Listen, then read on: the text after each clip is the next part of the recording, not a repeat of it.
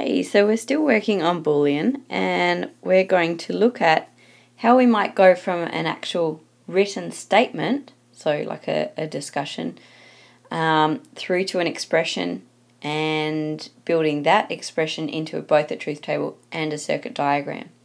So let's start by um, going through a scenario. Okay, so our first scenario is that Frida wants to buy a car. It must be a sports car or it must be red. So we want to find out what is equivalent to her eligible car. So the car is eligible. Um, and we're given a few conditions. It must be a sports car or it must be red. And the operative word there is or.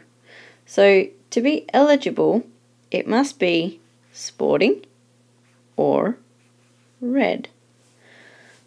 So let's draw a truth table. For that we've got two variables. We've got S and R and E is our solution.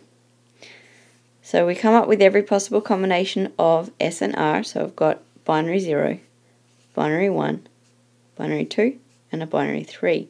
Now I've got S or R. So it's true whenever one is true. So, and that's our truth table for Frida. Let's also draw her circuit diagram. So we've got sports car, red, eligible.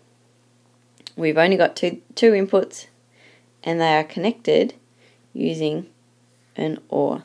So a nice easy one there. Okay, let's try a slightly harder one. Okay, so here we've got John is not speaking and Mary is speaking, or John is speaking and Mary is speaking.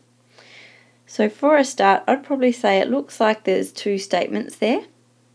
I'll separate them off. And they're connected with an or. So we've got John, and we've got Mary, and we've got John, and we've got Mary. So we've really got the two. So it says if John is not speaking, so not John, and Mary is speaking, then we've got our little or, or John is speaking and Mary is speaking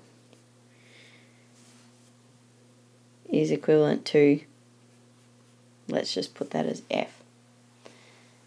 Okay, so you just work through the sentence and figure out what the expression should be. So let's make our truth table. Again, we've only got two variables in this one, so we've got J and we've got M. Um, and let's go with all combinations. So we've got 0, 0, 0, 1, 1, 0, 1, 1.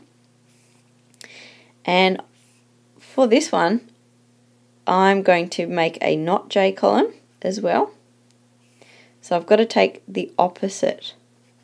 So that's 1, 1, 0, 0. Then I'm going to do my first set of brackets, which is not J and M. So I'm going to look at these two.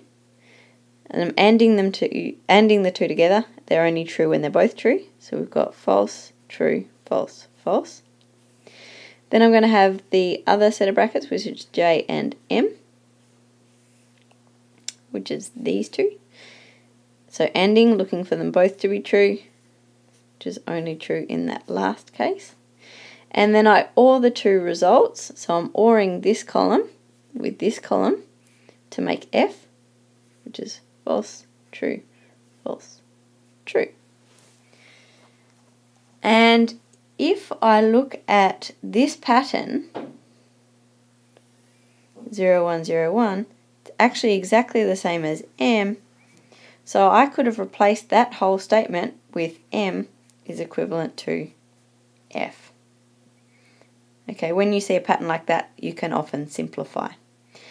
Now we've also got to make this into a circuit diagram, so I'm going to make everything a bit smaller.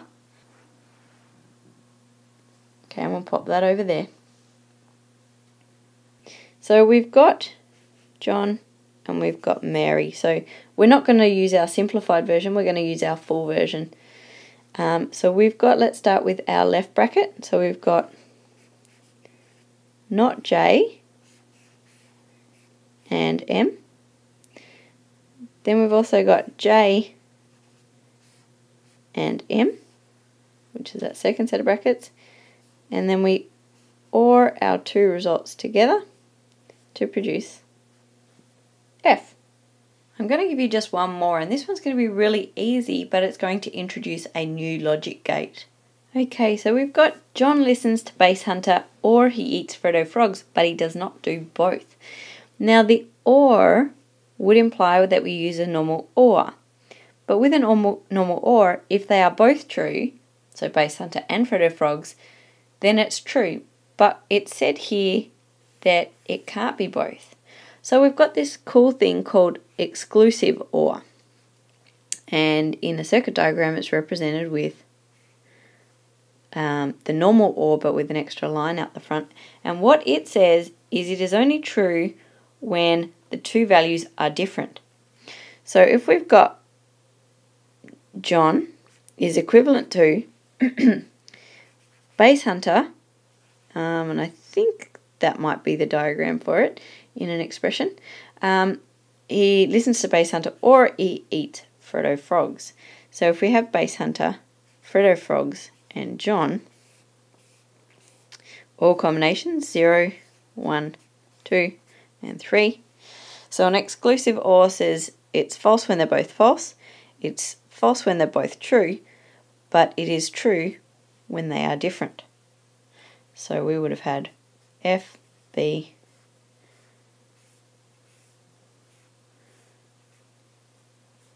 to John. Okay, so that one is an exclusive OR. So it is false when they're both the same as each other and true when they are different to each other. All right, I think that pretty much does it on the statements. Um, obviously, the more complex a statement, the more nutting out it takes, but that's a good challenge for you. All right, thanks for listening.